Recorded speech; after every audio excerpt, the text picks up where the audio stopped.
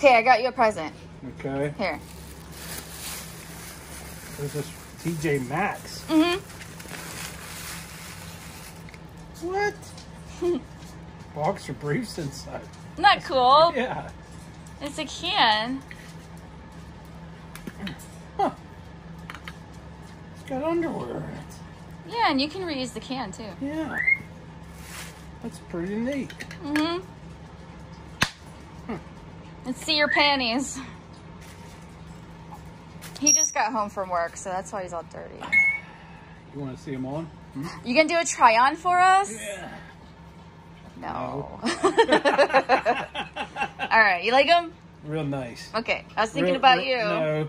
Real nice you said no to. Well, I'm all for it. No, if you want to put No, a, if you're want to do No, a try on, do it. That's for me. Oh. Well, that's stupid. Why'd you put both in there? Cause that's the bag that came in. Hmm. What's it? You're running It's Manuka honey. from bees? Where else does honey come from? Oh, it's from Manuka. Manuka is like medicinal grade honey. Don't eat. Ah. Don't open it. Do you like your panties? Yes, thank you. You're welcome. I love you. Love you. Mm. You're gonna have a beer now. Yeah. That's pretty neat. That again. That's why I should never leave you go shopping by yourself. You sent me to go shopping for know, you. idiot. I'm an idiot. I got you panties. Big deal. I know, but you went other places. That's all I got. Still.